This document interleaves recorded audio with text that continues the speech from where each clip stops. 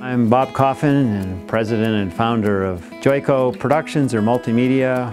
We are 28 years old, and we started in my family room, and now we've grown to six employees. The team is pretty much the heart of Joyco. I've been a creative person working in theater and music and fine arts ever since I was in grade school. And that certainly had something to do with getting involved in the video world because it's very creative. Not just the video, but you've got graphics, which is creative in itself, and now 3D animations and all that type of stuff. So it's fun to work with clients and pull ideas out of them that they have in their simple forms and then take that and massage it so that it ends up being a finished product that tells their story from start to finish.